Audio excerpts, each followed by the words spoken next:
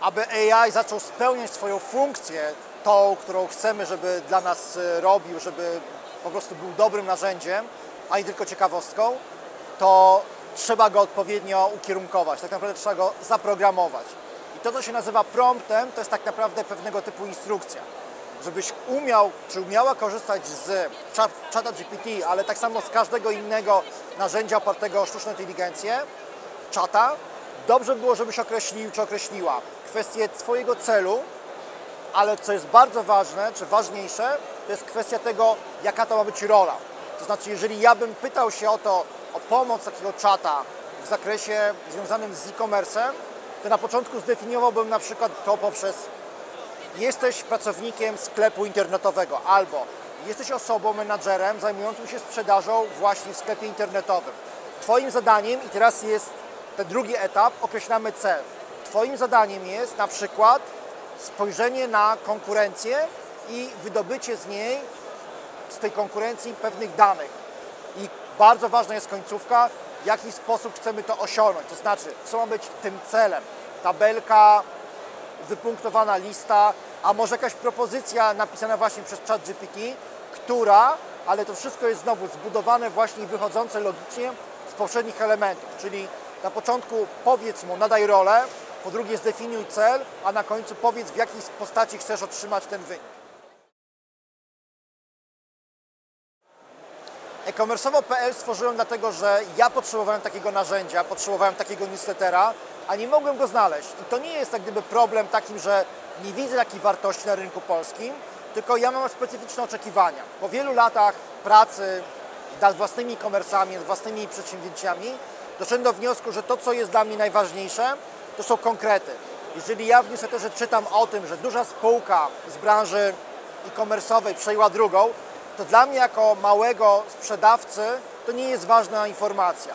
Dla mnie jest ważne to, żebym dostał na przykład informację o nowej wtyczce, która poprawi mi e, skalowalność mojego biznesu, albo mi obniży koszta, albo pozwoli robić coś szybciej i lepiej niż do tej pory. I dlatego stworzyłem właśnie e-commerce'owo.pl właśnie z Wami, CyberFox, dlatego żebyśmy wszyscy mogli przekazywać te informacje, które mogę jako właściciel czy właścicielka sklepu szybko wdrożyć i wykorzystać.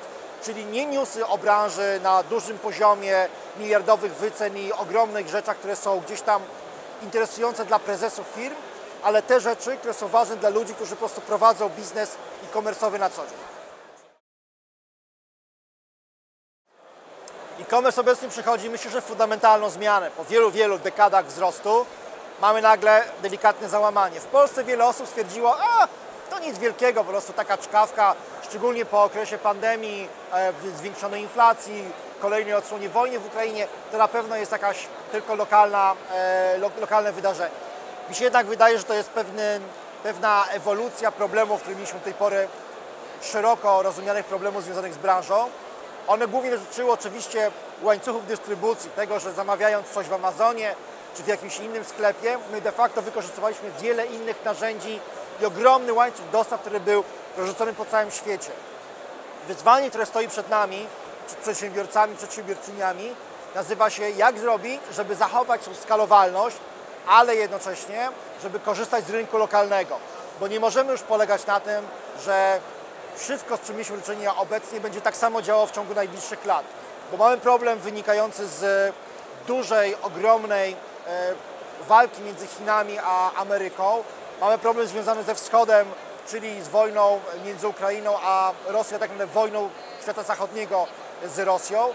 I wiele jeszcze innych trendów, które będą nam przeszkadzały tak naprawdę w działaniu takim klasycznym, z którym mieliśmy do tej pory do czynienia przez ostatnie 10 czy 15 lat. Więc uważam, że po raz, po raz pierwszy w historii e-commerce'u musimy zacząć optymalizować nasze działania, ale bardziej z wynikającej nie z potrzeby właśnie takiego klasycznego skalowania się, tylko z bycia osobami, które są przygotowane na to, żeby nas nie zaskoczyła rzeczywistość, czyli hiperlokalność, czyli wykorzystywanie AI w procesach różnego typu, planowaniu kampanii, ale również e, na przykład tworzeniu treści do sklepów, zdjęć, a być może również planowanie w ogóle większych działań marketingowych oraz to, co jest bardzo dla mnie też istotne, to jest kwestia podejścia ekologicznego.